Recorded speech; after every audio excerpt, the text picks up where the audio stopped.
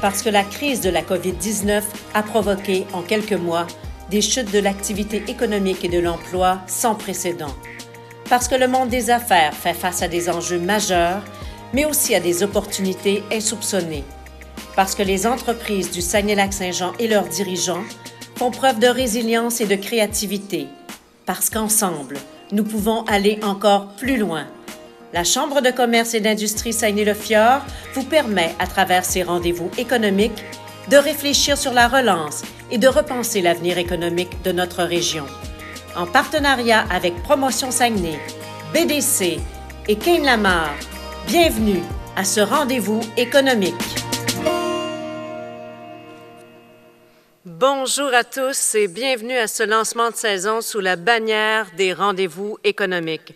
Mon nom est Sandra Rossignol, je suis vice-présidente exécutive et directrice générale de la Chambre de commerce et d'industrie Saguenay-le-Fjord. Nous aurions aimé être avec vous physiquement aujourd'hui, mais devant la situation actuelle au Québec, il était plus sage de tenir notre événement via le web. Je vous remercie d'être euh, présents à tous. Nous sommes quelques 200 personnes aujourd'hui en ligne. Alors, bienvenue et merci d'être là. Cet événement est rendu possible grâce à l'apport de nos précieux collaborateurs. J'aimerais donc remercier nos partenaires annuels, Ville Saguenay. J'aimerais d'ailleurs saluer Mme José Néron, mairesse de Saguenay, qui est présentement sur le web avec nous. Bonjour José. La MRC du Fjord du Saguenay. J'aimerais saluer Gérald Savard, préfet de la MRC du Fjord et maire de Bégin. Bonjour Gérald. De Rio Tinto, j'aimerais saluer Swan Lang Vu, partenaire d'affaires communauté et performance sociale Opération Québec.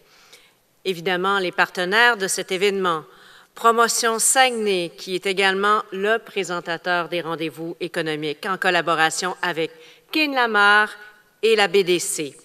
Également la participation de TVDL, Diffusion Saguenay, le Panier Bleu et le Centre québécois du commerce de détail, le CQCD. Et ensuite, le bureau du lieutenant politique pour le Québec et député de Chicoutimi, M. Richard Martel, qui tenait à être présent aujourd'hui. Comme l'événement d'aujourd'hui tient aussi lieu de lancement de la saison, j'aimerais en profiter pour vous présenter tous nos partenaires de la Chambre de commerce. Je vous les ai nommés tout à l'heure, les rendez-vous économiques et ses partenaires présentés par Promotion Saguenay en collaboration avec Ken Lamar et la BDC. Les rendez-vous jeunes entrepreneurs présentés par Bell en collaboration avec Desjardins. Les rendez-vous virtuels RH, un tout nouveau euh, rendez-vous cette année qui est présenté par GoRH. Cette année, dû à la situation, nous allons ajuster notre offre d'événements au fur et à mesure pour être résilients et rebondir, tout comme vous. Je peux toutefois vous dire que plusieurs événements auront lieu au fur et à mesure tout au long de l'année. D'ailleurs, nous sommes très fiers de vous annoncer que le Gala des Dubucs se tiendra le 12 mai 2021. Rio Tinto agira toujours à titre de présentateur. Je vous promets les détails suivront. Nous offrons également à nos membres plusieurs programmes, dont Leadership au féminin, qui reviendra pour une deuxième année, ainsi que les cohortes clans d'affaires virtuels qui ont permis aux inscrits de réseauter avec des gens de partout au Québec. J'aimerais également vous rappeler qu'en tant que membre de la Chambre de commerce, vous avez droit à une multitude de rabais, tant pour votre entreprise que pour vos employés. Alors, ceci dit, communiquer le tout à vos employés, c'est vraiment intéressant et important. Rendez-vous sur le ccisf.ca pour voir tous les avantages membres. J'aimerais maintenant vous présenter et saluer les membres qui composent notre conseil d'administration pour l'année à venir. Monsieur Carl Aberge de Port-Saguenay, notre président, Valérie Gilbert du groupe Gilbert, notre première vice-présidente, Sébastien Renaud du Centre de services scolaires des Rives du Saguenay, notre deuxième vice-président, Simon McNichol de Raymond Chabot Grand Thornton, notre vice-président jeunesse, Yannick Harvé Tremblay de Nordia, notre trésorier et aussi représentant jeunesse, Alexandre Simard, des maîtres d'œuvre, représentant jeunesse. Pierre-Luc Champagne de Contact Nature, Jean-Pierre Lévesque de Kane Lamar, Marc Monger de SNC Lavalin, Jean-François Landry de RSI Environnement. Sans oublier nos membres affiliés, Swang Lang Vu de Rio Tinto, le lieutenant-colonel Benoît Bisson de la base des forces canadiennes de Bagotville, Paul-Eugène Grenon de l'UPA, Isabelle Gagnon de Diffusion Saguenay et José Potvin du Centre Desjardins Entreprises Saguenay.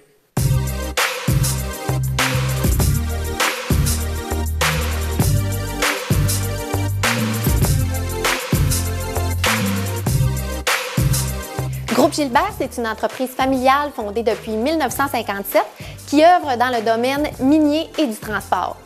L'entreprise œuvre également dans le domaine du génie civil et de l'environnement et à ce jour, nous sommes plus de 1000 employés qui travaillons au sein de l'organisation. Le groupe Gilbert s'engage dans le développement économique, euh, premièrement euh, par euh, la création d'emplois. On embauche des centaines de travailleurs, d'employés provenant d'un peu partout dans la région du Saint-Lac-Saint-Jean. De plus, on remet des millions de dollars, de dollars en retombées économiques de par l'achat local.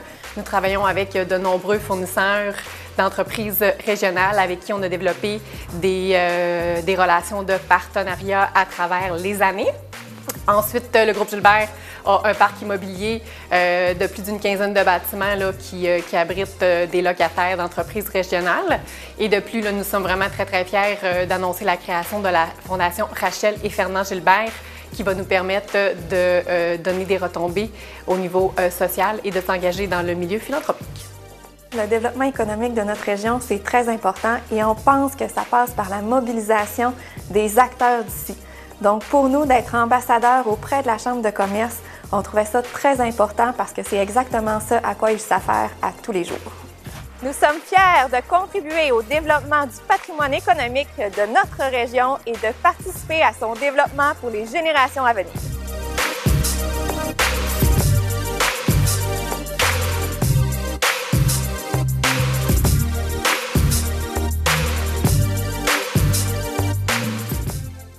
Maintenant, notre événement d'aujourd'hui euh, se déroulera en quatre blocs.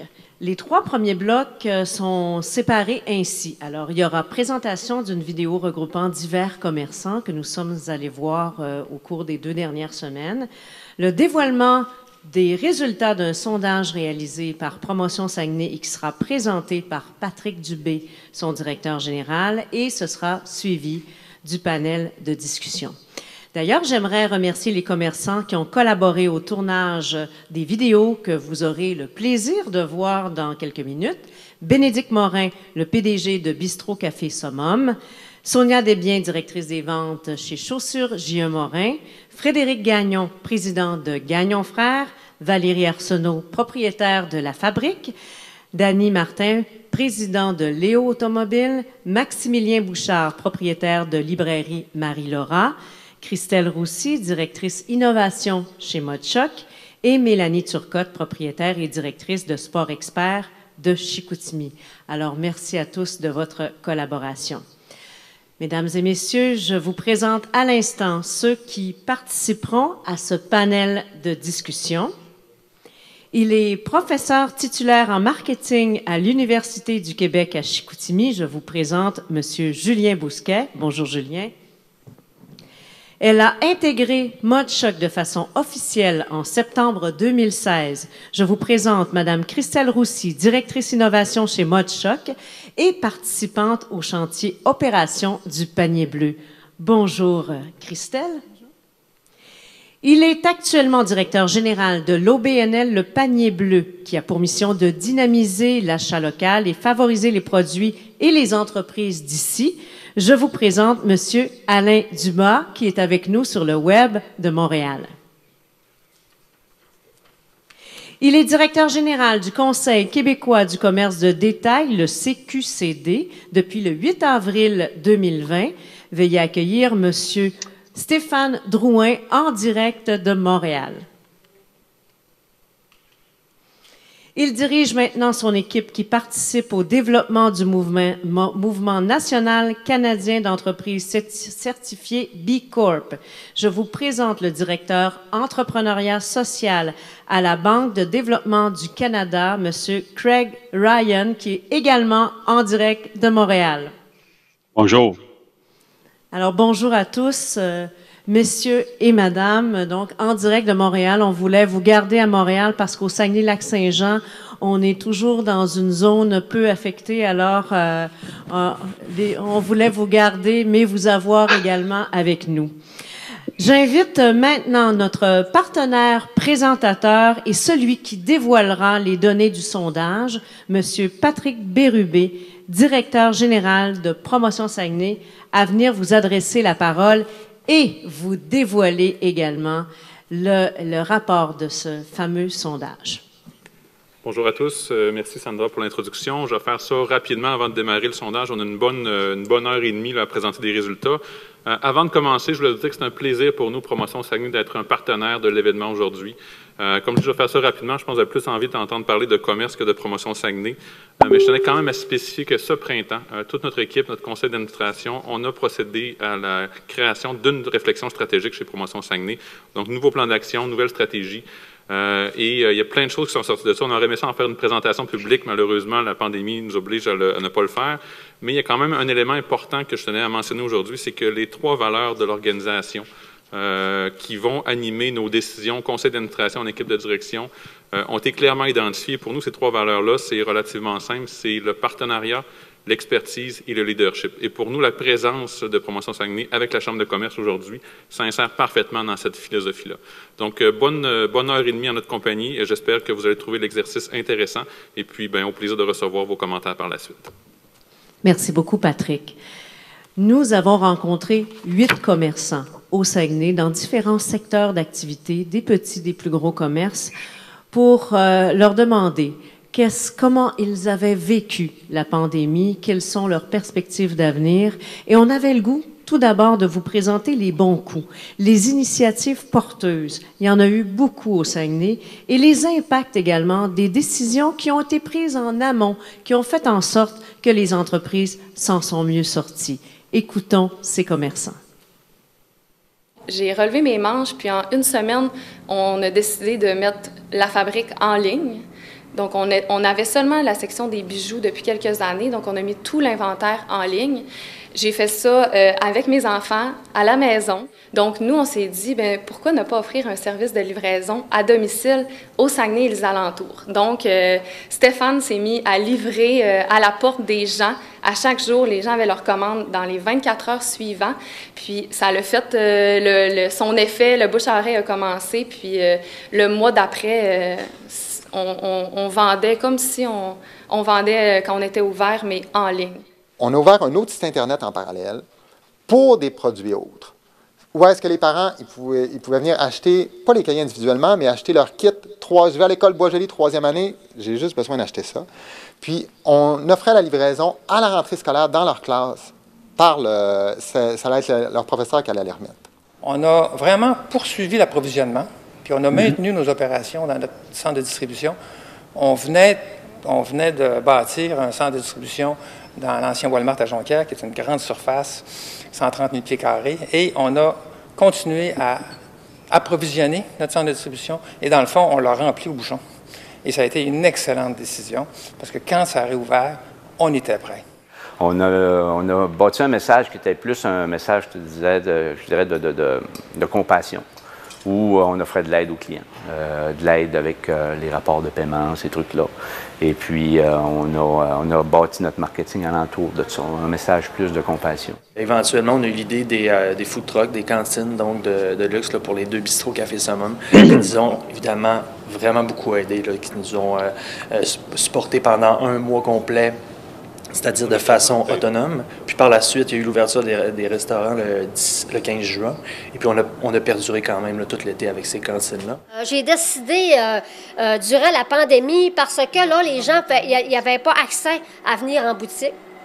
Euh, fait, que là, ben, on a, moi, j'ai dit à Linda, ma collègue, j'ai dit, euh, je pense qu'on va faire des lives. Là, elle me dit, ben voyons, ça n'a pas de sens, ça, Sonia. On dit, on peut pas faire ça. J'ai dit, oui, on va, on va l'essayer.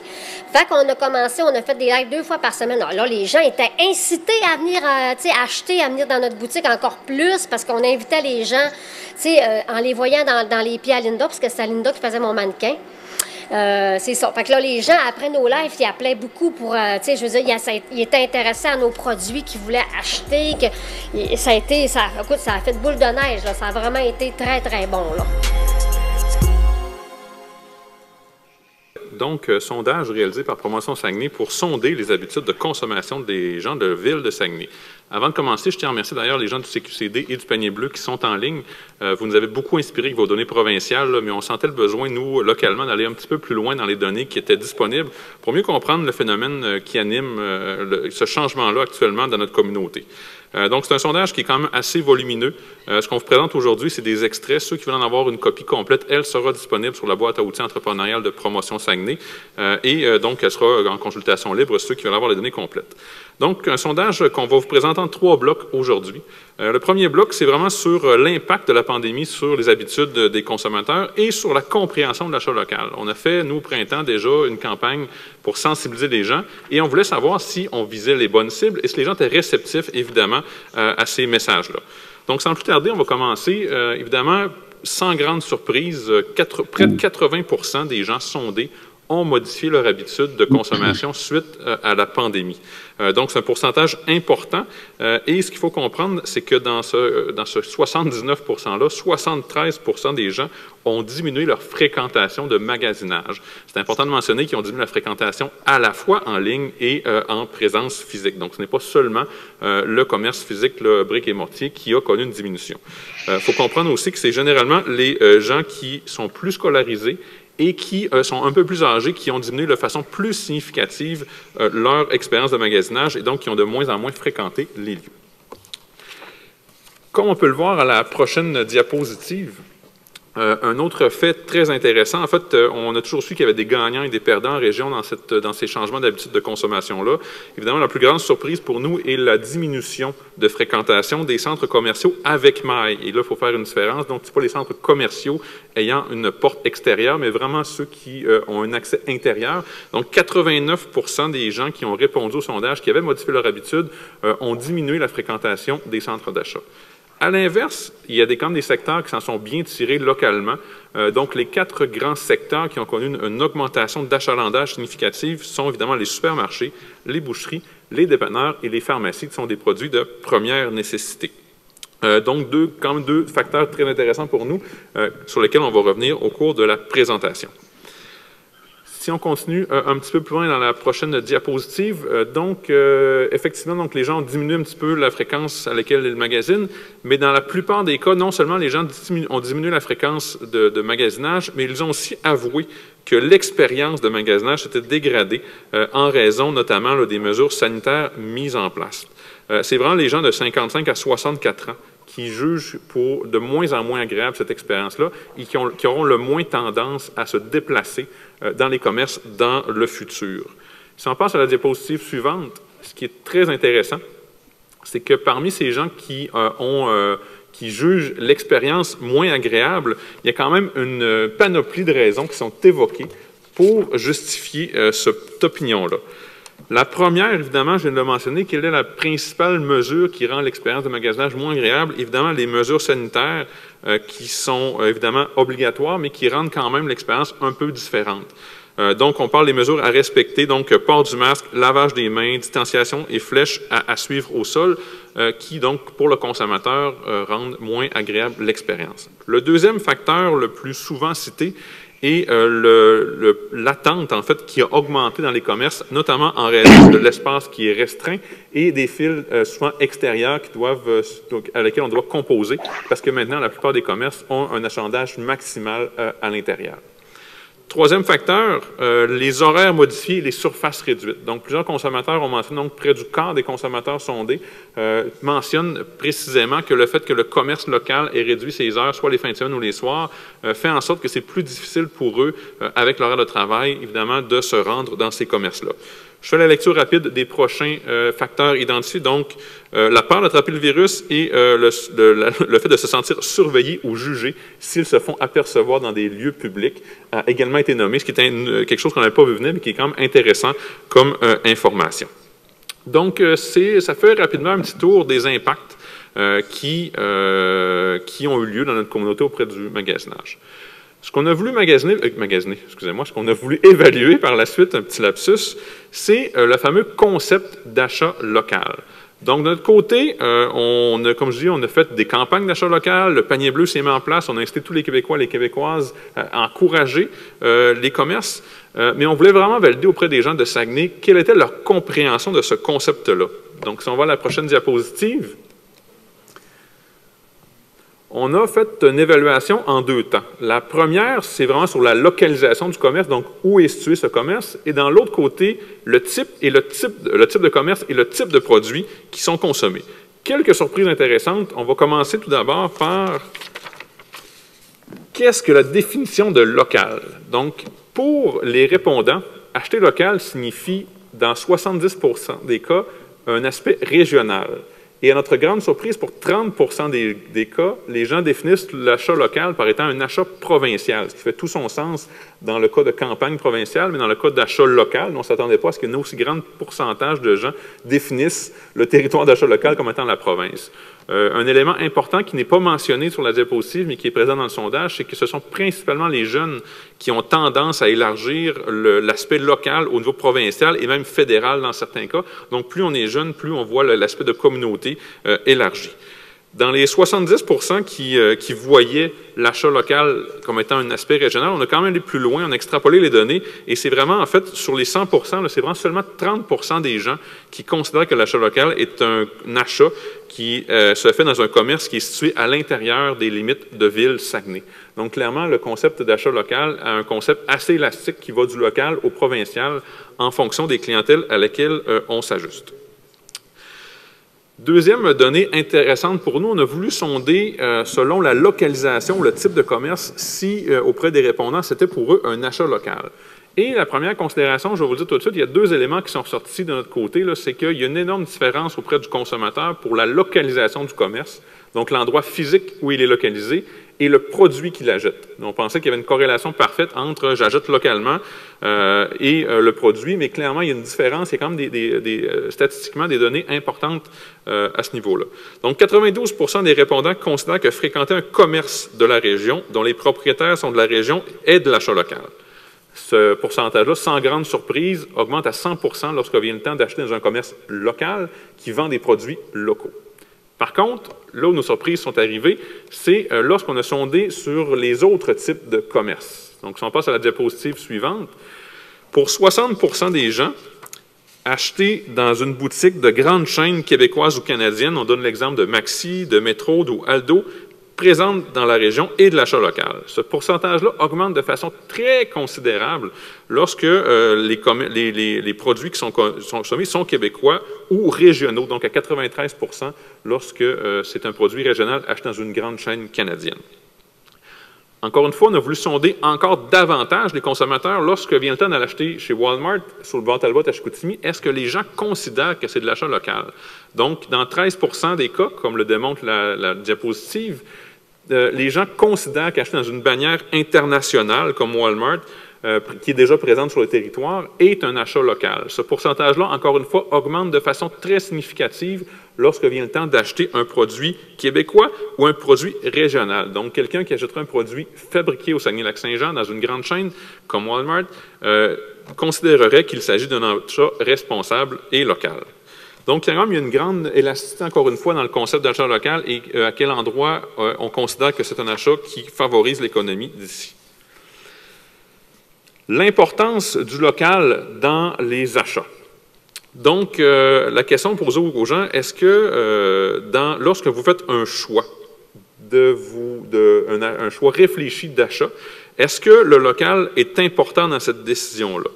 Donc, quand vient le temps de choisir un produit et non un commerce, 27% des gens répondent que c'est important d'encourager un produit québécois.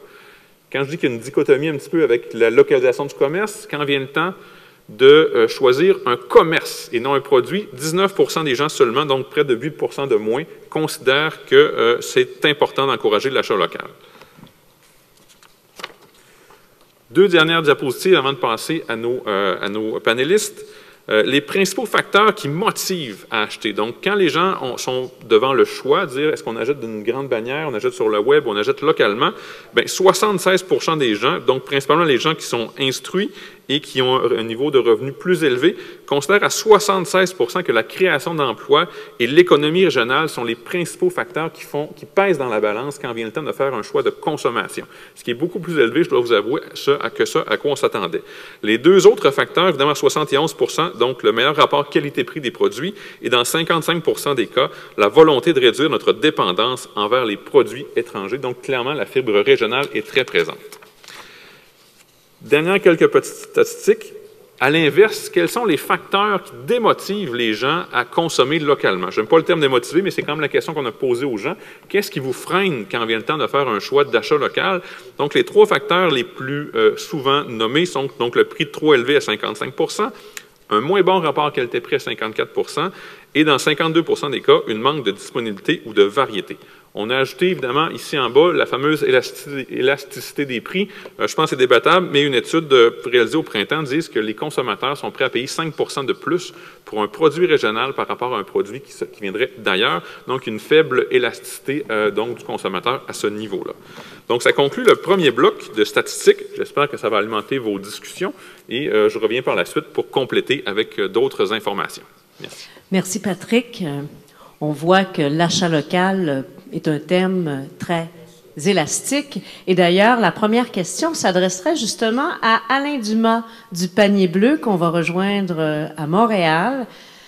Alain, euh, d'abord, première réaction face au sondage. Puis est-ce que l'achat local, c'est une question de perception ou on peut véritablement acheter local? Et comment le faire?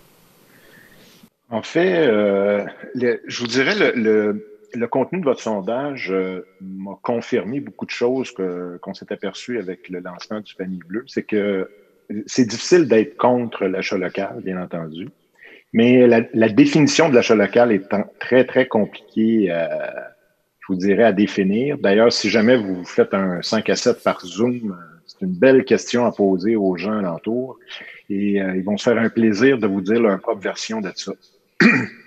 Nous, de notre côté, on a fait des, euh, euh, des, des, comités euh, qu'on appelle les, les, comités pour l'avenir du commerce de détail. Un de nos comités, justement, est, s'intitule Les origines des produits et des commerces. Puis, on a, je vous dirais, 12 à 15 experts autour de la table et on a beaucoup de difficultés à définir ce qui est vraiment local. Pour des gens, c'est de la proximité. souvent, la proximité, ça se trouve à être les commerces. Et euh, pour ce qui est vraiment de local, c'est souvent le produit. Mais ça, ça dépend des secteurs, ça dépend des âges, ça dépend. Mais je pense que la pandémie a amené quelque chose quand même, c'est une sensibilisation par rapport au local. Les gens sont vraiment intéressés. Vous, le parliez, vous parliez, par exemple, des jeunes qui euh, disent qu'ils ont de la difficulté à trouver, par exemple, euh, qu'est-ce qui est local qu'est-ce qui ne l'est pas. Ben, c'est l'exemple type, c'est des gens qui utilisent principalement l'Internet et souvent, ben, faut le dire, ils vont sur des plateformes étrangères qui ne mettent aucune information sur la provenance des produits. Donc, c'est difficile pour eux de.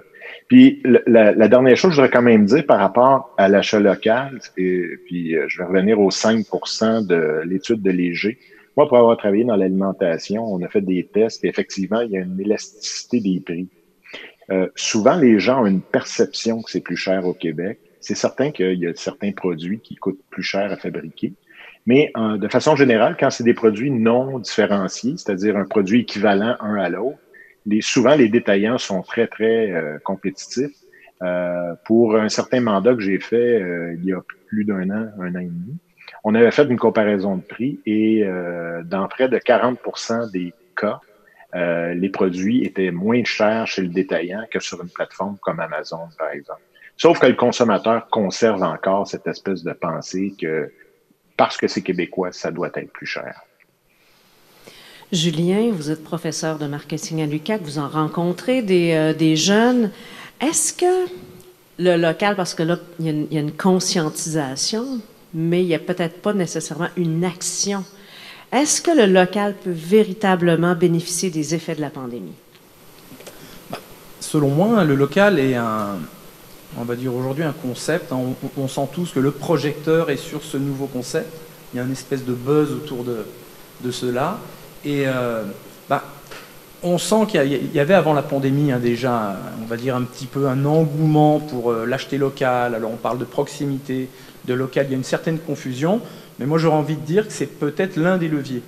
Alors la complexité peut-être avec le local, et ça c'est ma vision, moi le local me fait penser un petit peu au recyclage.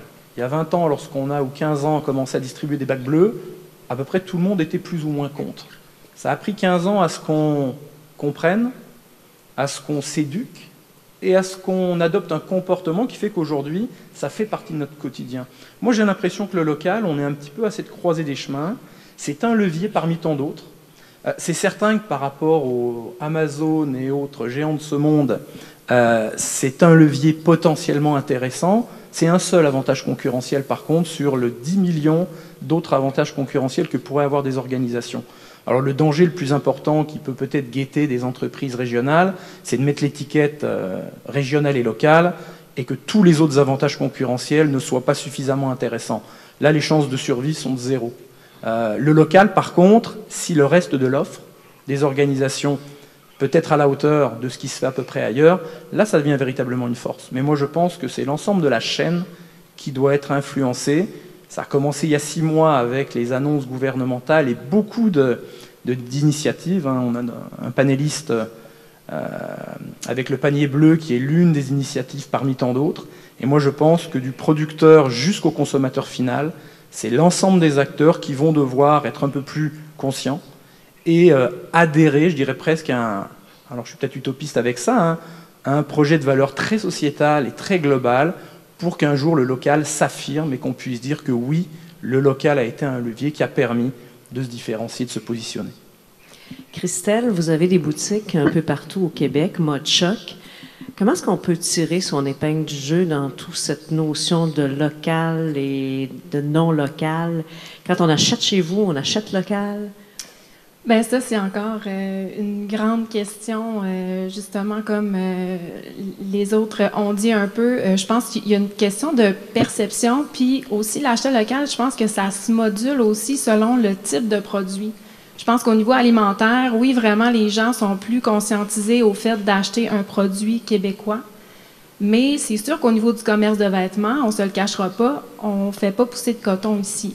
Donc, ça se module un peu donc, à ce moment-là, je pense que les, clients vont, vont, se diriger vers des entreprises québécoises, des chaînes euh, québécoises. Puis ça ne me surprend pas quand même euh, les résultats du sondage parce que ici, la, mobilisation au niveau euh, du commerce de proximité est très, très forte. Euh, les gens nous encouragent beaucoup. C'est pas pour rien qu'on a cinq succursales au, Saint, au Saguenay-Lac-Saint-Jean. Donc, c'est très, très fort, ça. Je pense qu'on encourage notre station-service du coin. On veut encourager les commerçants du coin. Donc, ça fait partie aussi de l'achat local. On rejoint Craig Ryan de la BDC à Montréal. Craig, quel modèle d'affaires et quelles pratiques on peut faire pour attirer les consommateurs à s'intéresser et à choisir le, produit local? Ah, super bonne question. Euh, quand nous, à la BDC, quand nous regardons à travers le Canada, à travers le Québec et ce que nous voyons euh, à travers la planète, c'est un mouvement socioculturel de consommateurs qui agissent de cette façon et d'entrepreneurs aussi. Et ce que nous voyons, ce sont les modèles d'affaires qui sont identiques aux modèles d'affaires qu'on vient de voir dans la vidéo. Rien d'exotique. Personne qui construit des hôpitaux en Afrique, mais des entreprises dont la réussite est de faire de Saguenay une meilleure place à vivre. Ça commence, bien sûr, pour la plupart des consommateurs avec des bons emplois. Ils veulent savoir que leur cousin ou leur voisin travaille là. Ça aide dans la prise de décision. Et ils agissent pas juste comme consommateurs. Il s'agit d'une décision qui n'a rien à voir avec la notion de redonner à la communauté. C'est un, consommateur citoyen qui fait l'achat avec davantage de clarté et d'intention. Donc, les modèles d'affaires qui, qui s'enracinent dans la région, qui offrent de, de bons emplois et qui utilisent, bien sûr, euh, des, euh, des entrants de, de la région. Merci, Craig. Euh, donc, on voit là, que l'achat, la notion d'achat local, c'est très complexe et on n'a pas de réponse claire vraiment sur la question. Alors, ça, ça conclurait le bloc numéro un sur l'achat local. Maintenant, l'achat en ligne. L'achat en ligne a fait un bond absolument incroyable avec la pandémie. Vous avez probablement, vous à la maison, acheté en ligne, peut-être pour la première fois, peut-être que vous étiez bien habitué, mais vous l'avez fait. Et j'aimerais aller, qu'on aille voir les commerçants qu'on a interrogés pour voir qu'est-ce qu'ils pensent de l'achat en ligne. Nos clients pouvaient faire des achats en ligne par le site euh, de la franchise euh, qui est sportexpert.ca. Donc ça, ça fonctionnait, c'était en branle, mais nous, en magasin, les opérations ont complètement cessé pendant cette période-là. Euh, on a tenté de répondre à quelques demandes de clients qui avaient vraiment des besoins urgents dans la chaussure, dans le sport, mais ça a été vraiment des toutes petites graines de vente par rapport au volume qu'on a habituellement. Numériquement, j'avais déjà testé plusieurs affaires, ce qui fait en sorte que quand que je, me suis mis en ligne, je savais déjà comment la plateforme fonctionnait, donc j'ai été quand même efficace à ce côté-là. Puis tranquillement, pas vite, j'ai réintégré des employés. Donc, euh, je te dirais que sur le coup, je me sentais, je me sentais tout petite dans mes culottes, puis pas du tout prête. Mais maintenant, avec le recul, euh, j'étais prête. Euh, à, faire face à ça. Puis je pense que les résultats ont démontré qu'on été efficace puis qu'on a réussi à se démarquer. les gens viennent, puis ils sont prêts, ils savent ce qu'ils veulent, ils savent quel mode, de paiement ils vont prendre, ils savent comment ils vont payer, comment ça coûte. Oui, ça a changé, ça a accéléré cet effet-là qui commençait déjà à, On commençait déjà à sentir que les clients commençaient à, fouiller sur le net puis à faire un, un travail préalablement. Mais là, ça a accéléré tout le monde en restauration est tombé un peu dans le, dans le take-out, ce qu'on appelle service pour emporter. Euh, évidemment, nous, on l'opère aussi. Donc, déjà là, on a mis ça en place. Euh, au départ, on avait euh, soit, en fait, réservation en ligne, on venir chercher sur place. On s'est adapté également dans notre nouveau commerce qui est le Maria Maria, un petit Mexicain. Donc, ça, on était peut-être moins prêt au départ, donc il a fallu s'ajuster, faire un site qu'on a fait assez rapidement. On parle de 3-4 jours donc de vente en ligne pour venir chercher euh, sur place. Une boutique en ligne qui est instaurée depuis 2015. Donc, c'est sûr que ça, tu sais, il y avait une certaine maturité à notre boutique en ligne. Notre catalogue de produits était là, euh, tu sais, notre studio photo, tout ça, tu sais, pour vraiment, tu sais, prendre toutes les, photos en ligne, tout ça. Euh, mais c'est sûr que la croissance qu'elle a eue, on est habitué à avoir une certaine croissance stable à chaque année, qui était quand même bonne, tu sais, on doublait chaque année. Mais là, on s'est vu voir notre volume d'affaires euh, en ligne faire x10. Donc, euh, tu sais, comme un petit mercredi euh, tranquille de 40, 50 commandes, ben là, c'était des 500. Donc, ça a été vraiment ça le gros challenge, en fait, là, pour nous, là, de se dire, bon, ben le côté opérationnel, il n'est pas fait pour avoir cette croissance-là, mais tu sais, notre commerce en ligne était là, par exemple. Nous, on avait déjà une boutique en ligne qui était, mise en place. Et puis, les gens, tu sais, c'est sûr qu'ils la connaissaient pas beaucoup parce que ça faisait pas longtemps qu'on était commencé avec notre boutique en ligne. Et puis là, ben nous, avec notre www.chaussuremorin.com, euh, avec aussi avec le Facebook, que moi, je marquais toujours sur le Facebook que toutes mes chaussures étaient disponibles sur ma boutique en ligne. Euh, moi, je travaillais ici en magasin et puis les gens achetaient. Et euh, une chance qu'on ait notre boutique en ligne aussi parce que euh, ça nous a sauvés carrément. Très intéressant comme commentaire des entreprises et je pense que ça rejoint un petit peu les éléments que je vais présenter dans le deuxième bloc du sondage. Donc, le deuxième bloc, comme euh, Sandra l'a mentionné, c'est vraiment sur l'achat en, ligne. Donc, on a voulu mesurer quel, a été l'effet de la pandémie sur l'achat en ligne et surtout où est-ce que les gens vont en ligne et quelle est leur relation avec le commerce physique quand vient le temps de magasiner justement sur ces plateformes virtuelles. Donc, la première question, euh, c'est une question, question évidemment, ce qu'on a voulu euh, sonder auprès des citoyens, c'est selon leur perception, quel est le pourcentage des achats qu'ils font qui sont en ligne. Et je tiens à préciser que c'est une question de perception parce qu'on a contre-vérifié que les données nationales de statistiques et ça ne correspond plus ou moins en fait à ce qu'on euh, devrait normalement revoir. Donc, ce que ça veut dire, c'est que les gens ont une plus grande perception d'achat en ligne que de, que de la réalité, en fait. Donc, les gens, selon le sondage, après des deux tiers, donc le, tiers des achats, selon les, réponses, devraient se situer en ligne. Donc, 62 38% Il y a quand même des, aspects intéressants ou des corrélations qu'on a réussi à sortir de cette donnée statistique-là. Donc, selon les gens qui effectuent du télétravail, donc ceux qui ne reviennent pas au bureau ou euh, au travail, de l'entreprise sur une base régulière, on voit que le pourcentage d'achats en ligne augmente de façon considérable. Donc, de 38% on passe de 45 à 48% ce qui est non négligeable. À l'inverse, les gens qui travaillent toujours à la maison magasinent beaucoup plus euh, dans le commerce plutôt qu'en ligne. Donc, ce pourcentage-là, lui, quant à lui, descend à moins de 35 Important de mentionner que les tranches d'âge jouent énormément également sur cette perception d'achat en ligne-là. Donc, les jeunes euh, ont euh, la perception que 48% de leurs achats se font, donc près de la moitié de ce qu'ils dépensent se fait en ligne. Donc, clairement, je pense que la population a une, pense qu'elle est très présente, même si statistiquement, au niveau provincial, fédéral, il y a quand même une petite dichotomie à ce niveau-là, mais clairement, les gens ont la perception qu'ils sont très présents là-dessus. Et le télétravail amplifie, ce qu'on peut dire, évidemment, ce phénomène d'achat en ligne-là.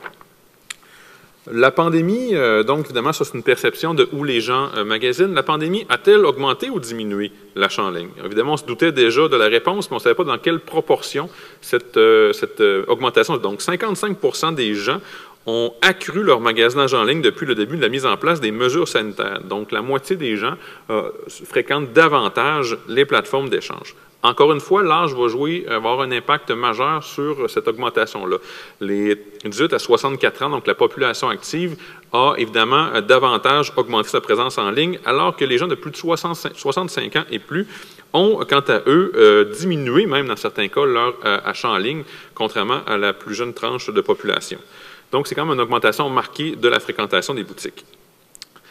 Euh, quand on a sondé les gens sur quels sont les principaux facteurs qui motivent l'achat en ligne, et ça, on a été, je vous avoue, un peu surpris. Euh, et moi, ce que ça nous fait dire, je serais curieux d'entendre les panélistes par la suite là-dessus, euh, on a toujours pensé que la pandémie avait créé évidemment là, ce ce nouveau phénomène d'achat en, ligne-là, mais clairement, ce n'est pas le facteur principal qui pousse actuellement les gens à magasiner euh, sur les plateformes web. Euh, donc, ce qu'on peut en déduire, probablement, encore une fois, je serais curieux d'entendre les, panélistes là-dessus, c'est qu'on euh, a accéléré un phénomène, on n'a pas créé un phénomène avec l'achat en ligne. Donc, le principal facteur motivant le magasinage en ligne, essentiellement, c'est magasiner dans le confort du foyer. Euh, donc, on ne veut pas sortir de, chez soi, on veut demeurer euh, à la maison et pouvoir choisir le produit qu'on désire et se le faire livrer directement chez soi. Deuxième, facteur, le magasinage à toute heure. Donc, évidemment, le travail, les enfants, les obligations familiales, les gens désirent de plus en plus euh, choisir le moment à lequel ils font leurs achats. Je vais lire quand même les prochains rapidement. le choix, la variété, la disponibilité, la capacité de comparer des produits et finalement 56 un meilleur qualité-prix lorsqu'on magasine en ligne, comme M. Bousquet le, dit tout à l'heure, donc soit réel ou perçu. Et seulement après ces cinq facteurs-là, les éléments, les éléments reliés à la pandémie euh, sont mentionnés. Donc 56% éviter les inconvénients sanitaires et 43% ne pas risquer de contagion. Donc clairement, ce qu'on peut voir, c'est que le magasinage en ligne était bien entamé avant la pandémie. Euh, la situation sanitaire a certes accéléré le phénomène, mais n'a pas créé quelque chose de nouveau. Maintenant, quels sont les types de produits que les gens qui magasinent en ligne vont euh, consommer? Euh, donc, euh, parmi tous les répondants qui ont répondu à notre sondage, 75% ont dit que les vêtements et accessoires de mode étaient clairement le type de produit qu'ils commandaient le plus souvent en ligne. Suivent dans l'ordre le divertissement, donc les livres, les jeux, les jeux électroniques. À 60% les meubles et accessoires de décoration, 59% les restaurants et 54% les produits de soins personnels.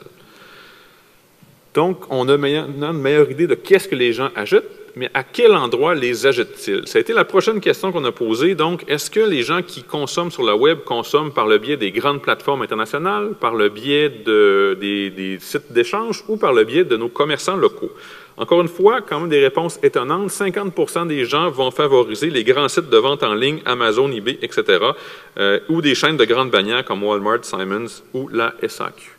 Dans 33% des cas, les commerçants vont favoriser le site de détaillant local ou qui fait la promotion de produits locaux. Et à 18 euh, et euh, c'est encore une fois une donnée secondaire de l'étude, mais à notre grand étonnement, les sites d'échange, malgré la pandémie, ont connu une croissance d'achalandage. Donc, euh, le contact humain a continué de se faire malgré les consignes sanitaires. Donc, 18% des gens avouent qu'ils utilisent les, les sites d'échange comme Marketplace ou Kijiji pour faire leurs achats. Donc, ça donne un portrait des trois grands types d'achats qu'on peut utiliser, qu'on peut faire sur le web actuellement. 50% pour les grandes chaînes, 33% pour le local et 18% pour les sites d'échange. On est allé un peu plus loin dans notre sondage. On a tenu à comprendre qu'est-ce que ces gens-là achetaient sur ces grands sites, de, ces, grandes catégories de sites web-là. Si on commence par les sites de détaillants locaux, donc, 33% euh, des gens ont avoué favoriser ce type, d'achat en ligne-là. Donc, qu'est-ce qu'ils achètent? Et encore une fois, plusieurs surprises pour nous. Clairement, l'alimentaire est, la plus grande catégorie d'achats local qui se font à partir des sites web locaux. Donc, la première, 47% 41% pour les repas préparés et à 32% pour les produits d'épicerie. La grande surprise pour nous, les assurances et les produits financiers font une apparition marquée à 33 Et euh, pour avoir discuté avec plusieurs institutions financières lors de la préparation du sondage, en fait, plusieurs citoyens euh, ont renouvelé leur hypothèque, ont fait effectuer un emprunt, pris une carte de crédit à l'aide d'un site national et d'une institution locale. Donc, euh, clairement, ce secteur-là a connu une mutation pendant les derniers mois et je pense que ça risque, encore une fois, effectivement, de s'accélérer. Quand les gens vont chez les sites des grands détaillants en ligne euh, et des grandes chaînes, évidemment, le portrait de ce qui est acheté à ce moment-là est beaucoup plus éclaté et il n'y a pas de, de, grandes catégories qui ressortent particulièrement du lot. Si on voit la prochaine diapositive, on va voir que euh, ça va du, évidemment des tourismes et le voyage à 64 à articles de sport à 49 mais à peu près tous les produits de consommation usuels sont mentionnés par les consommateurs lorsqu'ils mentionnent quel type de produits ils achètent sur euh, les euh, sites de grandes chaînes internationales. Et dernière diapositive sur les trois grandes catégories de sites Web, on a également demandé aux citoyens quel type de biens ils échangent sur les plateformes comme Marketplace ou Kijiji. Et à ce moment-là, trois grands types de biens, trois grandes catégories d'achats sont euh, mentionnées. Euh, donc, comme on le voit sur la diapositive, le premier, ou euh, ex évidemment, c'est les meubles et accessoires de décoration, l'automobile et les véhicules motorisés, et finalement les articles de sport, donc les trois grandes catégories qui sont le plus souvent échangées sur ces plateformes-là. Dernière, ou presque avant-dernière diapositive, avant de donner la parole aux conférenciers, aux panélistes, euh, on a voulu savoir, et encore une fois, je trouve ça très intéressant comme donnée, surtout si on extrapole un petit peu, on a posé la question aux citoyens, est-ce que les sites locaux, donc les entreprises qui ont leur propre présence sur le web, soit via Facebook ou un site web, sont assez présents ou assez visibles? Et on a reçu une réponse très divisée, et encore une fois, qui est intéressante de décortiquer un petit peu. Donc, comme on le voit sur la diapositive, à 46% exactement de chacun des côtés, les gens jugent suffisante la présence des entreprises locales sur le web, alors que dans la même proportion, 46% les gens la trouvent insuffisante.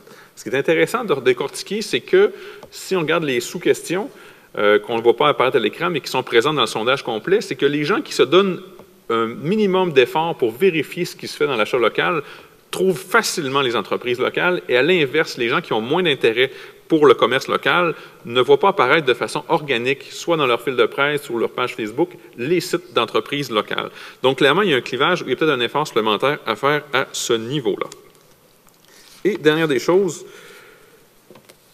les principaux enjeux à l'achat local. Donc, qu'est-ce qui, pour l'entreprise, fait en sorte que euh, on j'aime pas encore une fois le terme nuisance, mais qu'est-ce qui fait en sorte qu'il euh, nuit euh, à, acheter localement en ligne? Donc, à 47% les gens ont, répondu le manque de présence en ligne des commerçants locaux. Donc, est-ce qu'il y a un site web, une page Facebook? Donc, il y a de la difficulté à trouver soit le produit ou le commerçant en ligne. À 44% le rapport qualité-prix qui est souvent mentionné, donc les gens ont l'impression que c'est moins avantageux à 41% la difficulté de repérer les sites locaux et régionaux sur les moteurs de recherche. Donc, ils sont présents, mais difficulté de les trouver. Et à 35% les produits ne sont pas assez diversifiés. Donc, ça fait un peu le tour du portrait de l'achat en, ligne et je vais céder la parole à Sandra pour les questions à nos panélistes. Merci, Patrick Burubé. Première question, je m'adresserai à, vous, euh, Christelle. Euh, vous avez vécu un boom, vous l'avez dit. Vous, êtes dans, le dans, dans la déco, euh, dans, le vêtement. Est-ce que vous étiez prêt à faire face et comment est-ce qu'on gère la croissance aussi rapide pour, pour une entreprise québécoise comme vous? Bien, on était prêt, oui et non. Oui, parce que, euh, en fait, nous, on avait quand même justement un certain niveau de maturité au niveau de notre commerce en ligne. Déjà, tout notre catalogue était là, studio photo monté, euh, programmation adéquate euh, au niveau de, des clients qui peuvent venir magasiner aussi en ligne. C'est tellement de choses, tellement d'étapes. mais nous, de ce côté-là, on était prêts. Mais au niveau opérationnel et organisationnel, je dirais, non, pas vraiment, parce qu'on s'en attendait pas d'avoir une croissance aussi grande que ça. Là, il y avait des contraintes de COVID aussi. On ne pouvait pas nécessairement avoir autant de gens sur le plancher euh, pour ramasser les commandes qu'on voulait. Il fallait respecter les mesures et on voyait le nombre de commandes arriver euh, comme une énorme vague. Et euh, c'est sûr que ça nous a... et là, il faut réagir.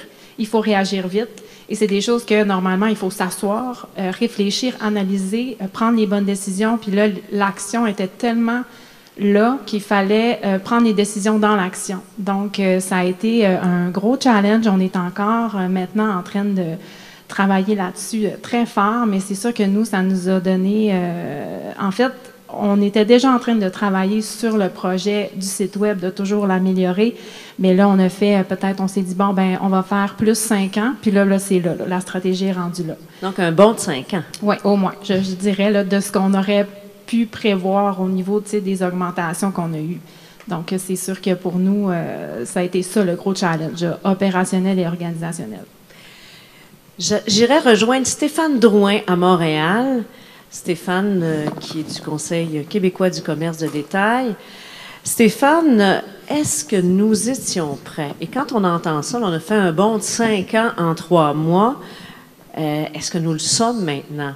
Est-ce qu'on est prêt? on entre dans la deuxième vague. Puis où se situe le Québec, le Saguenay-Lac-Saint-Jean, dans, dans tout cet environnement-là de commerce en ligne? Écoutez, merci. C'est un plaisir d'être avec les, les, gens de la belle région du Saguenay aujourd'hui. Euh, non, on n'était pas prêt euh, et je pense que ce que les, le sondage et même le témoignage de Mme aussi euh, démontre, c'est que la crise, c'est un, un révélateur de problèmes et d'opportunités, puis c'est un accélérateur. Et je pense que l'exemple de Mme Roussy, c'est l'exemple de plusieurs commerçants qui étaient en ligne, mais que les ventes représentaient peut-être 5, 2, 3, 5, 10% même pas 10% de chiffre d'affaires. Donc, ça s'opérait très bien. Et là, quand les ventes ont augmenté de façon phénoménale dans, dans en très peu de temps, euh, tout le monde s'est vu pris de court, incluant les, les, les, entreprises de livraison comme Post Canada et toutes les autres qu'on connaît. Fait que, en bon français, la chaîne a débarqué. De l'autre côté, il y a aussi le, plusieurs détaillants qui n'avaient pas fait le virage numérique encore. Euh, qui, qui retardait, bon, compliqué, c'est pas encore assez gros, tout ça, et qui retardait depuis quelques années. On, et on l'a vu beaucoup, nous le Conseil québécois est impliqué depuis trois ans en virage numérique. Juste cette année, on, on va faire, on va, on va, aider 1200 détaillants à se convertir en, en commerce électronique. Mais les détaillants qui n'avaient pas fait le virage, ben, eux, ils l'ont eu dans le nez. Parce que quand les commerces étaient fermés, ben, contrairement à tous les beaux témoignages que j'ai vus depuis tantôt, et bravo à toutes ces entreprises-là pour leur créativité et leur audace, mais ces gens-là se sont retrouvés avec aucune possibilité de vente parce que la porte était fermée. Et là, ça, ça a été vraiment un choc pour plusieurs et ça, ça les a vraiment incité à accélérer leur virage numérique. Et, je pense que c'est, vraiment là, un rattrapage important qu'on va faire dans les prochaines années et qu'on doit faire très rapidement. Puis je pense que, comme disait Mme Roussy, on vient de passer à un autre niveau. Puis ce qui est intéressant aussi au niveau des ventes en ligne, qu'on voit, qu'on voyait un peu dans le sondage et qu'on a vu dans nos propres études, c'est qu'il y a plusieurs catégories de produits qui ont atteint des nouveaux plateaux, euh, des nouveaux plateaux de vente. Donc, les ventes en ligne ont tellement augmenté que ça a atteint un nouveau plateau pendant la crise de la COVID. Et là, ça va être intéressant de voir qu'est-ce qui va rester après. Si c'était 5% des ventes d'un commerçant, puis ça a monté à 40 est-ce que ça va retomber à 25-30% des ventes? Ça va être intéressant de voir ça. Euh, L'autre élément, moi, je mets en garde de beaucoup de commerçants euh, de votre région et du Québec. Euh, la période des fêtes qui s'en vient, on va être en période de, de deuxième vague de COVID, de, confinement orange, rouge, euh, où les gens vont peut-être être hésitants à aller en magasin, faire la file, aussi faire la file euh, à l'extérieur quand il fait froid. Euh, c'était beau cet été, là, quand il faisait 25 degrés beau soleil, mais à, moins 5, début du mois de décembre, être moins drôle un petit peu. Donc, un, d'aménager vos espaces extérieurs pour faciliter l'expérience client, mais aussi assurez-vous d'être en ligne et que votre site Internet soit vraiment efficace. Et je pense que c'est ça qui est important parce que euh, si vous n'êtes pas prêt dans, pour la période des fêtes, là, vous allez probablement manquer un gros bateau. Et l'autre élément que j'aimerais sortir, euh, c'est un élément important qu'on a vu, c'est que dans le trafic en magasin, le groupe cible qui a diminué le plus ses visites en magasin, c'est le groupe des 55 ans et plus. Et principalement même dans les 65 ans et plus. Et euh, je parlais avec euh, M. Peter Simons dernièrement qui me disait, lui, sa collection euh, pour les personnes plus âgées euh, qui normalement se vendent beaucoup en magasin, bien là, se vendait pas en magasin, mais se vendait en ligne, ce qui n'était pas le cas avant. Donc, assurez-vous que vos sites Internet euh, répondent bien aux attentes puis aux besoins de cette clientèle-là qui n'est pas aussi familière à aller en ligne. Donc, assurez-vous que votre site est facile à magasiner, facile à trouver les produits et facile à faire la transaction parce que ces gens-là n'ont pas la même capacité, mais ils vont être un groupe cible très, très important dans les prochaines semaines, les prochains mois, les achats des fêtes et après. Fait que oui, on a un gros rattrapage à faire, mais le, bouton d'urgence est allumé parce qu'il y a beaucoup de belles semaines qui s'en viennent de vente en ligne. Merci beaucoup, Stéphane. Julien, euh, on l'a vu dans le sondage, Stéphane en a parlé. L'effet télétravail, l'achat en ligne, probablement, c'est là pour rester. Là, on, on, est parti sur une vague et puis euh, on reviendra pas en arrière.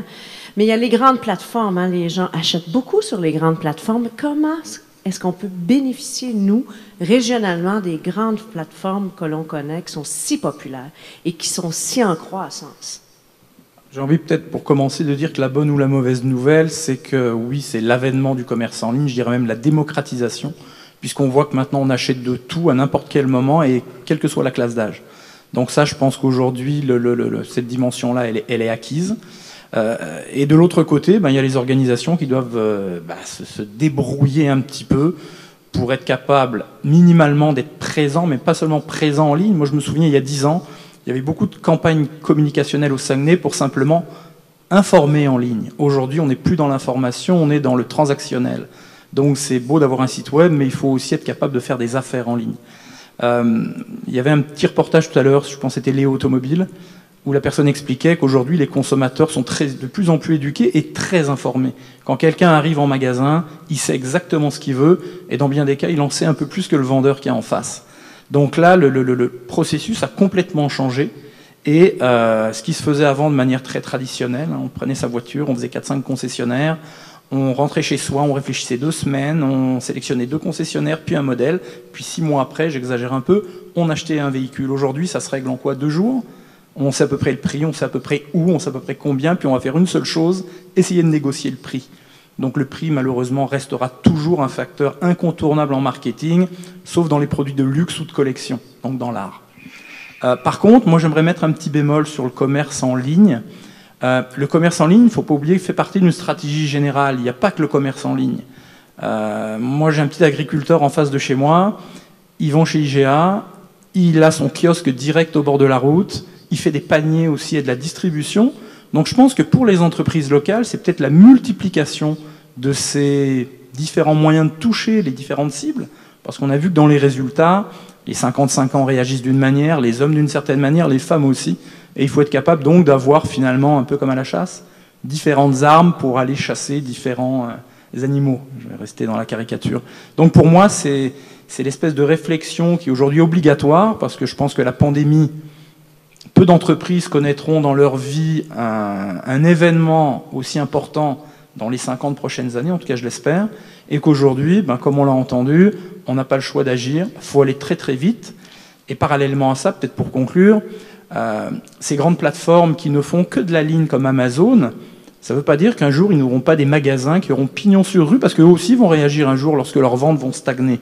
Et on l'a vu avec Apple qui a ses euh, magasins, Nike qui a ses Nike Town. Et moi, je serais peut-être pas surpris un jour qu'on ait des super centres de vente euh, Amazon où le consommateur pourra acheter en ligne, magasiner en ligne, magasiner sur place. Et ça, ça fera encore plus marche au, commerce, au marché local.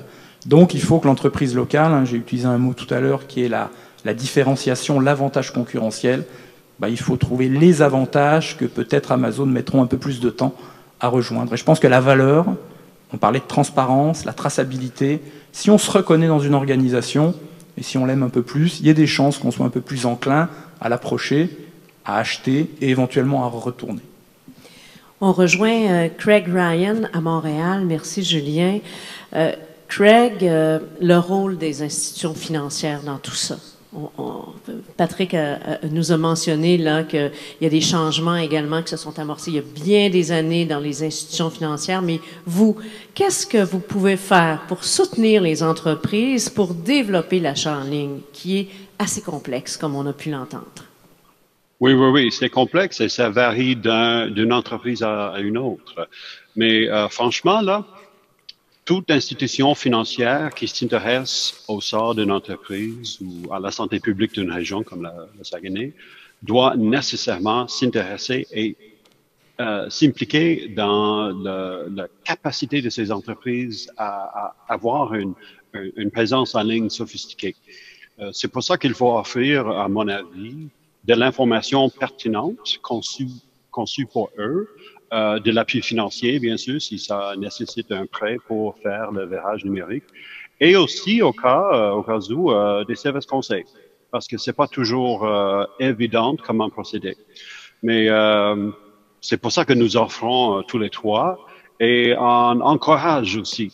Ça nous surprend toujours le, le pourcentage élevé d'entreprises ou d'entrepreneurs qui n'ont pas de présence en ligne ou qui ont une présence qui est, inadéquate. Donc, les consommateurs qui préfèrent local sont aussi habitués aux meilleurs sites au monde. Donc, d'où la nécessité d'avoir de l'information conçue pour eux, euh, de l'appui financier et, euh, au cas, euh, s'il le faut, des conseils services. Pardon, services conseils. On comprend. Sur le web, notre, notre compétiteur n'est peut-être pas dans la rue à côté, mais ailleurs dans le monde, et l'Asie est, très fort dans, dans l'achat en ligne. Merci, euh, Craig. Nous sommes rendus au bloc numéro 3.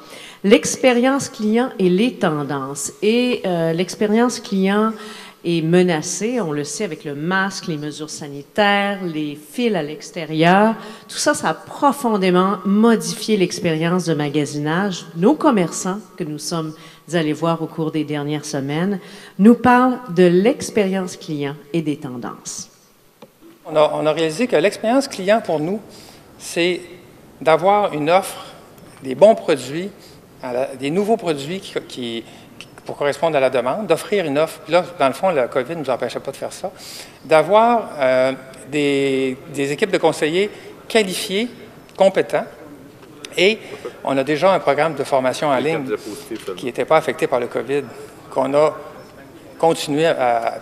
Chaque conseiller suit des heures de formation à chaque semaine à l'année. Alors, la compétence de nos gens, on a travaillé, on continue à travailler, fait que ça, l'expérience client était protégée à cet égard-là. Le cœur de l'expérience client, n'a pas été entaché par le COVID. Et on est capable de faire notre job, d'écouter le client, de comprendre ses besoins, d'y offrir des produits adaptés pour, pour lui vraiment. Et ça, on est capable de le faire aussi bien. Puis on ne se laisse pas euh, distraire par le fait qu'il y a un masque, puis on essaie d'oublier ça, puis de faire oublier ça par notre attitude, par notre professionnalisme. Les consignes sanitaires sont arrivées par étapes. Hein. Au début, on n'avait pas le port du masque obligatoire. C'était le lavage de mains, la distanciation. Euh, donc, euh, ça se faisait relativement bien. Il a fallu changer nos habitudes pour la désinfection, les routines, tout ça. Euh, c'est sûr qu'ensuite, le port du masque est arrivé. Donc, nous, on est, on est, on est organisé avec le masque de procédure comme ça. Puis on a aussi euh, les belles lunettes euh, de protection. Fait que c'est sûr qu'au niveau de l'expérience client, euh, c'est toute qu'une adaptation. Promotion Saguenay, ce qu'ils ont mis en place au niveau de la livraison à domicile, c'est un service génial. C'est très efficace. Il n'y a eu aucun raté. Ça a été mis en place rapidement. J'ai rien à dire à ce sujet-là, puis ça fait un peu la même chose, parce que, mais pour l'ensemble des commerçants. Tout palier de gouvernement confondu, là, ça, ça, ça a vraiment aidé, ça a vraiment enlevé un poids au niveau de notre, euh, euh, nos procédures, tout ça. Là, on n'a plus de gens qui viennent en concession, euh, il n'y a plus de présentiel. Plusieurs employés sont, sont, restés à la maison aussi au début. Donc, euh, communication électronique, les, les, courriels, les textos, SMS, les médias sociaux, Facebook, Instagram, tous ces trucs-là, tout, ce qui, tout ce qui touche la communication, même notre système de gestion interne aussi de, de clientèle, il y a un système intégré là-dedans de communication avec les clients. Ça, on a vraiment exploité là, ces trucs-là, ces outils-là qu'on avait déjà, mais qu'on exploitait plus ou moins, mais là, on a vraiment on a, on a maximisé l'exploitation de ces outils-là. L'expérience client, le vécu, le senti, on veut qu'il demeure le même. Donc, c'est vraiment ce qu'on a dit. On a formé nos employés sur l'approche client qu'on désirait avoir également. Sur place, les gens, justement, sont ils, savent qu'est-ce qu'ils veulent. Ils viennent chercher des choses, c'est plus direct. Donc, nous, ça nous... Et le service à la clientèle aussi qui est changé un peu, c'est un, un, un, un, service un petit peu moins personnalisé, c'est moins prêt. On a des masques et tout.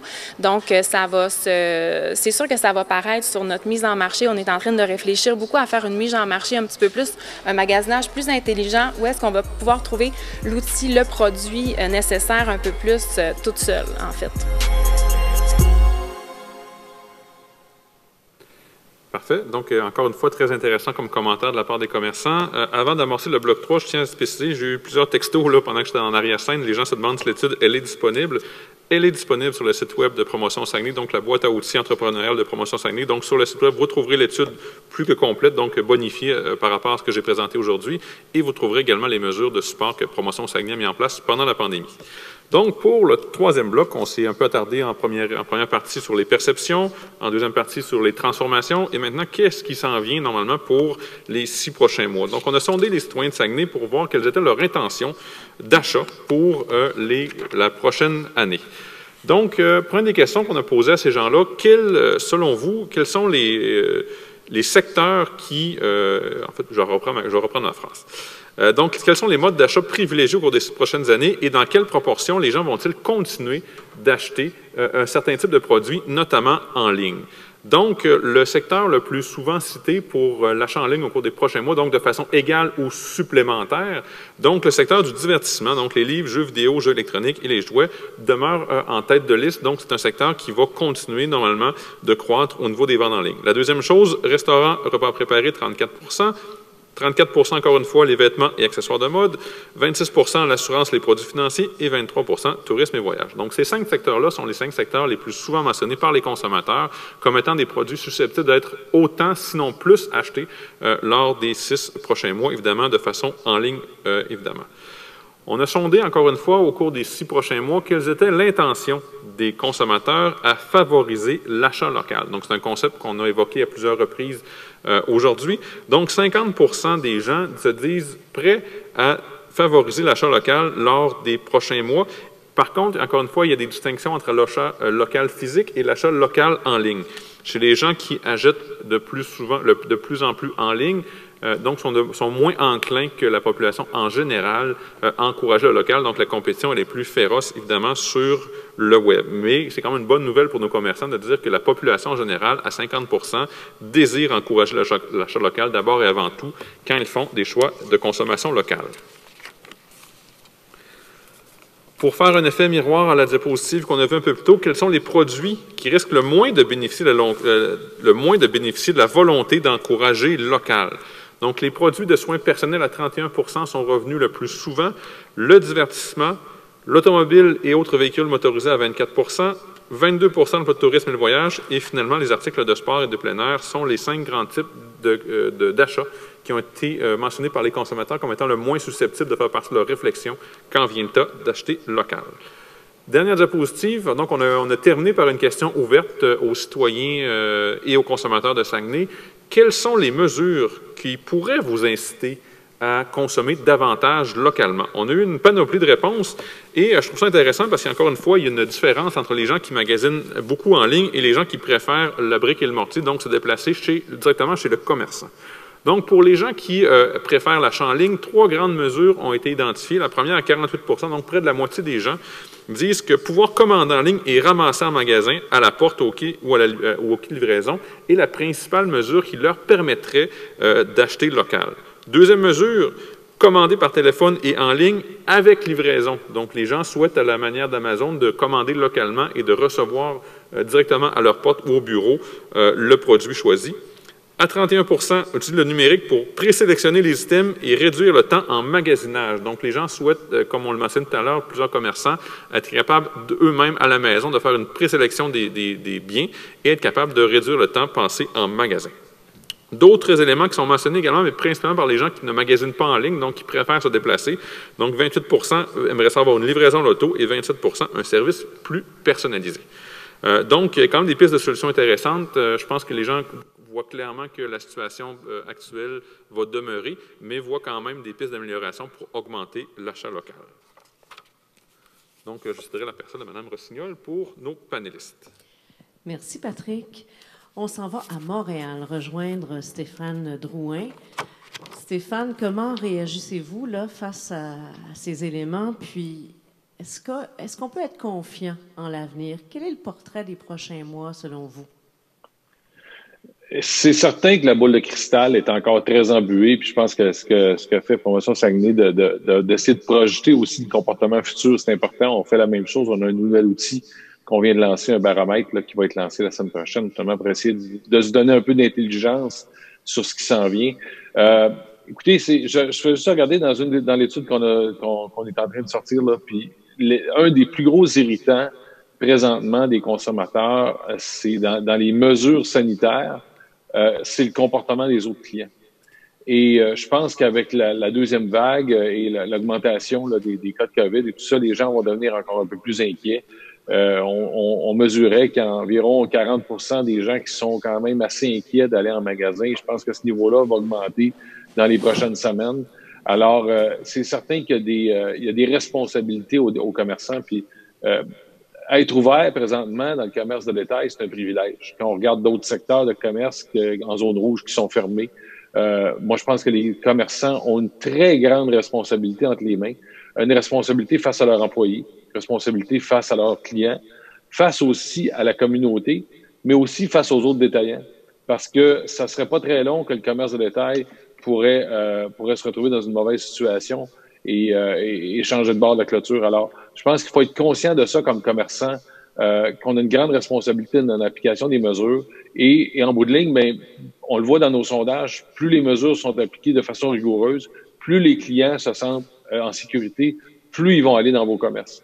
Alors, puis ça, je pense qu'on en a encore vraiment pour quelques mois. Euh, facilement d'ici l'année prochaine à vivre dans ce contexte-là.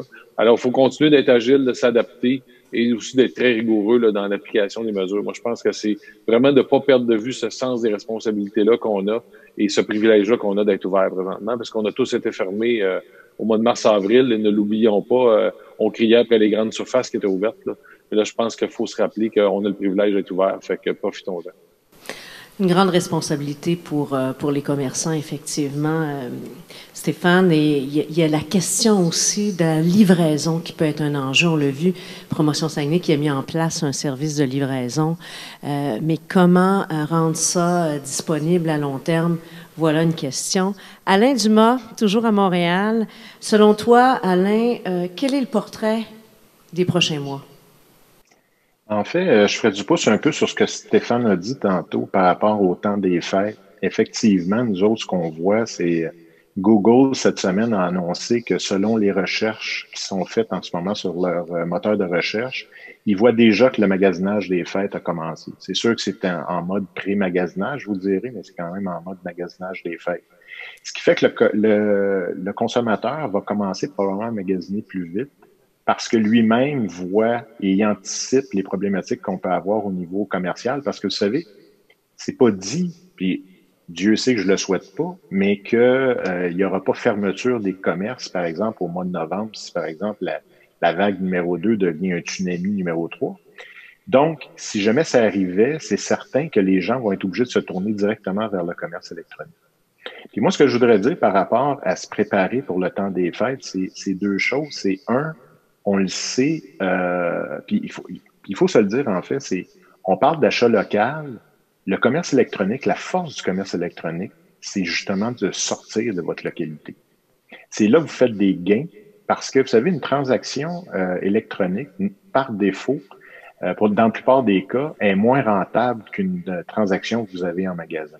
Donc, si vous faites du commerce électronique seulement pour protéger votre marché local, euh, ce que vous faites souvent, c'est que vous ajoutez des dépenses au niveau commercial. C'est sûr que pour créer de la richesse, il faut sortir un peu de son marché. Ceci étant dit, avec la, la pandémie qu'on vit en ce moment, c'est important aussi de protéger son marché local. Moi, je vous dirais, euh, j'ai eu une expérience la semaine passée où j'ai réservé, par exemple, un, un outil dans un centre d'outils. Et je l'ai réservé en ligne, j'ai tout rempli les détails. Et quand je suis arrivé au magasin, il a fallu que je me mette en ligne avec les clients à l'extérieur pour attendre d'être servi par un commis, malgré le fait que j'avais déjà réservé mes outils. L'expérience était vraiment mauvaise, à mon avis, pour un consommateur. Puis moi, je pense qu'il y a une belle opportunité d'investir dans des infrastructures qui vont durer. C'est-à-dire qu'un centre de cueillette à part, par exemple, pour un commerçant, plutôt que, que, que les gens viennent chercher leurs commandes et qui attendent avec les clients qui sont là pour rentrer dans le magasin, c'est un investissement, je pense, qui est intéressant. D'autant plus que ça vous permet de promouvoir le fait de vous déplacer au moins au magasin. Et ça, ce que ça fait, c'est que souvent, votre transaction est plus rentable que si vous l'envoyez par euh, la poste.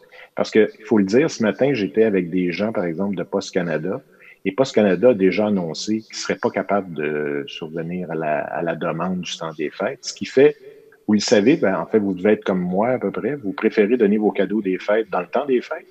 Donc, vous préférez les recevoir avant de Noël autant que possible, ce qui fait que les consommateurs, puis vous savez, vous avez un gros joueur international qui a une promesse de livraison quand même un peu incroyable, ce qui fait que les gens, plus le temps va avancer, plus ils vont se tourner vers les joueurs internationaux.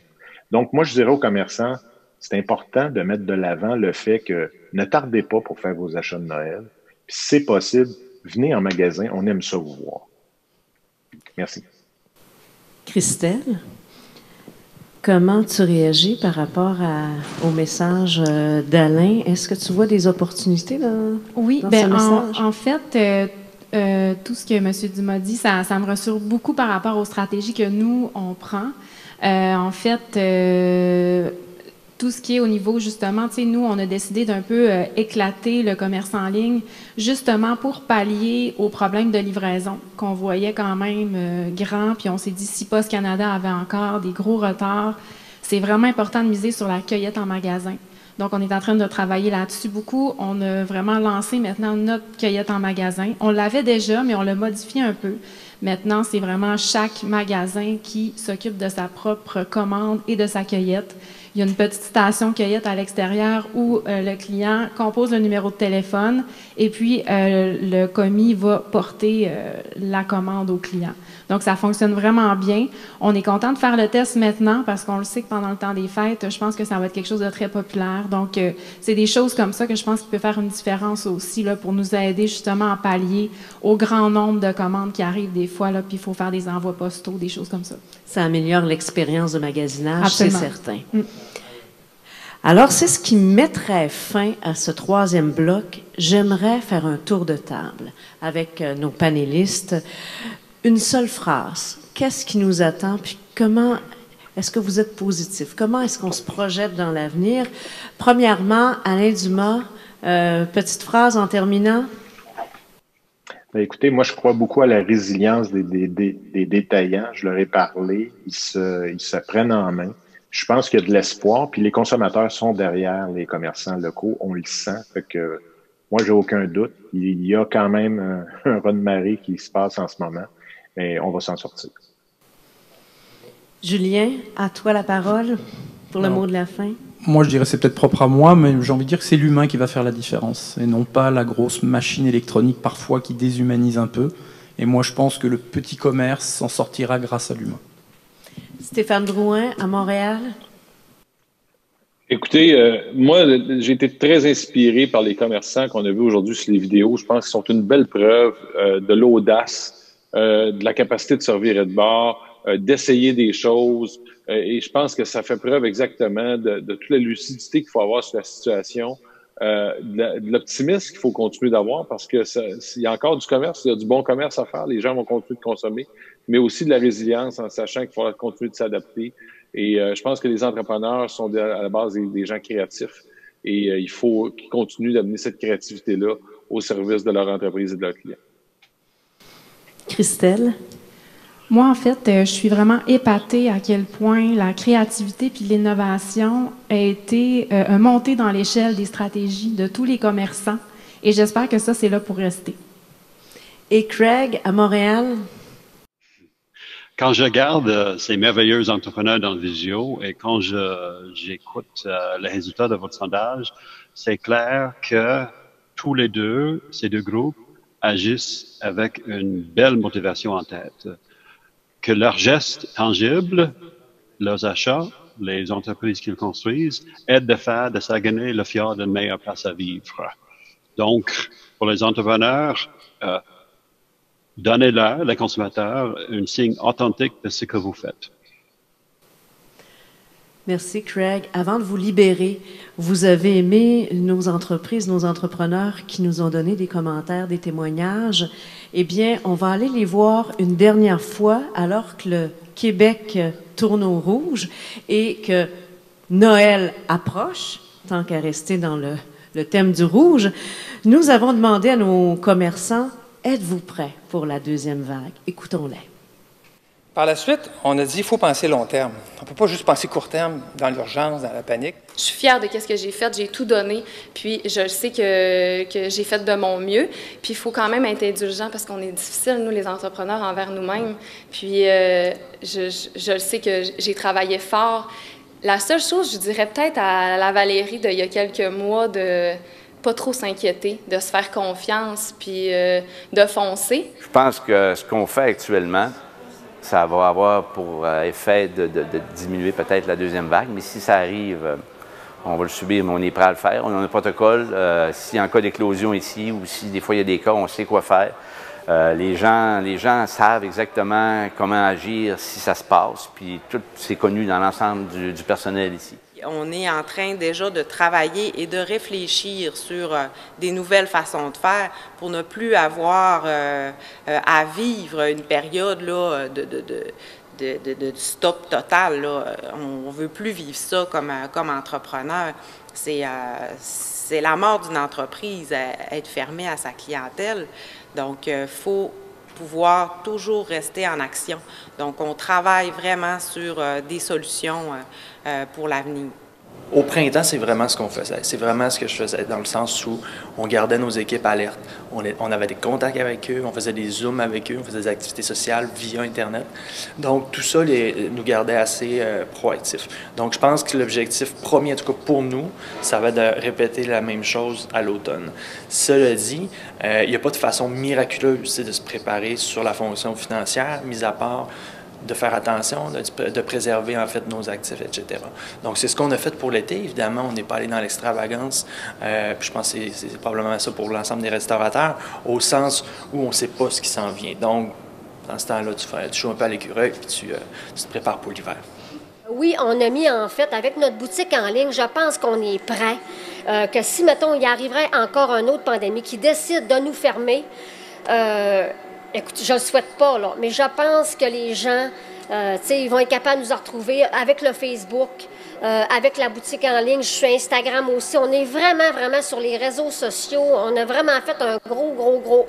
Euh, on a développé beaucoup nos réseaux sociaux pour ça, justement, pour que les gens nous voient de plus en plus un peu partout aussi. Fait que je pense que c'est ça.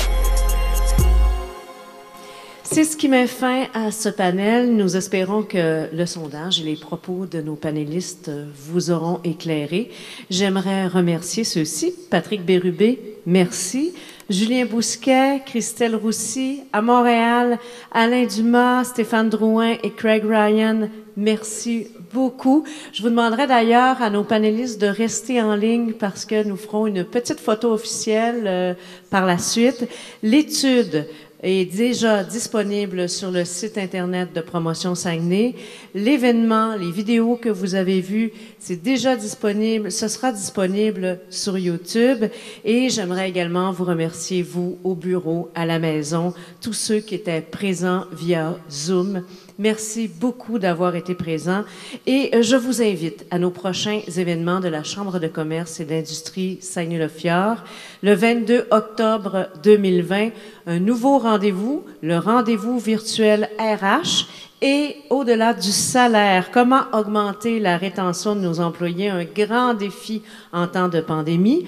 En octobre 2020, nous lancerons les rendez-vous jeunes entrepreneurs en novembre également, nous aurons un nouveau rendez-vous économique en collaboration avec Promotion Saguenay, la BDC et King Lamar, qui s'intitulera Faire affaire avec les Premières Nations, mythes et réalités et le 13, le 12 mai 2021, le Gala des Dubucs.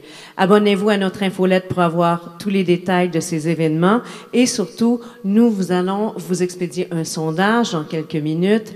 Alors, nous espérons que vous allez répondre à celui-ci parce que c'est la façon de nous aider à nous améliorer. Au nom de, tous les employés de la Chambre de commerce et d'industrie Saguenay-Lafieur, de ses administrateurs et de ses membres. Je vous remercie beaucoup et vous pouvez compter sur nous. Nous serons là pour la relance. Merci beaucoup.